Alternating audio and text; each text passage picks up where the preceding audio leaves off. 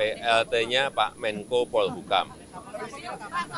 Presiden Jokowi akhirnya bersuara terkait dengan kasus korupsi yang menjerat Menkominfo Johnny G. Plate, termasuk isu Ketua Umum Partai Persatuan Indonesia atau Perindo, Haritanu Sudibyo, yang disebut akan menggantikan posisi Johnny. Respon Jokowi saat ditanya isu tersebut hingga membuat Iriana Jokowi dan Luhut Binsar Panjaitan yang berada di sampingnya tertawa. Jokowi menyampaikan hal tersebut di pangkalan TNI AU Halim Perdana Kusuma pada Jumat 19 Mei 2023. Saat itu Jokowi, Ibu Negara Iriana dan Luhut Binsar Panjaitan hendak bertolak ke Hiroshima, Jepang.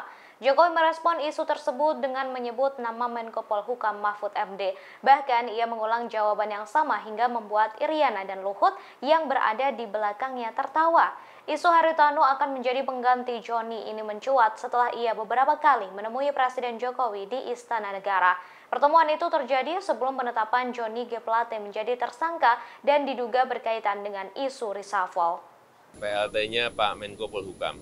Pak hari itu Pak Hati jadi Menko bagaimana Pak? Hah? Pak PLT-nya Pak Menko Polhukam. Penggantiannya kapan Pak? PLT-nya Pak Menko Polhukam. Pak kalau intervensi politik dalam kasus penahanan Bapak Hmm. Kejaksaan Agung akan terbuka dan saya yakin bekerja profesional. Terima kasih sudah nonton. Jangan lupa like, subscribe, dan share ya.